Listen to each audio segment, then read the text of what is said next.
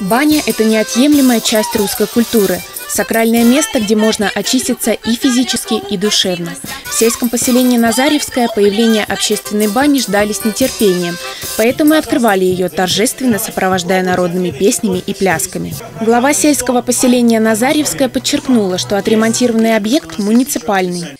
Сегодня, наконец-то, после реконструкции мы открываем с вами муниципальную Назаревскую баню.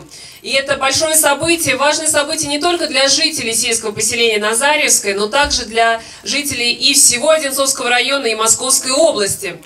Наша баня включена в программу губернатора Московской области «100 бань Подмосковья», а это для нас значит очень высокие критерии качества оценки как ремонтных работ, так и оказания банных услуг. Общественная баня в поселке Назарьево является 43-м по счету объектом в рамках губернаторского проекта «100 бань Подмосковья». Одно из важных условий программы – это обслуживание льготной категории населения по специальным тарифам. Уникальность Назарьевской бани в том, что здесь, несмотря на масштабную реконструкцию, сохранилась русская печь. Баня стала по-хорошему современной, но, тем не менее, со старинной русской душой, а, поскольку мы не трогали нашу русскую дровяную печь. Это действительно наша душа, душа этой бани, Назаревской бани. Хоть само здание старинное, внутри все современно и комфортно. Проведен качественный комплекс ремонтных работ.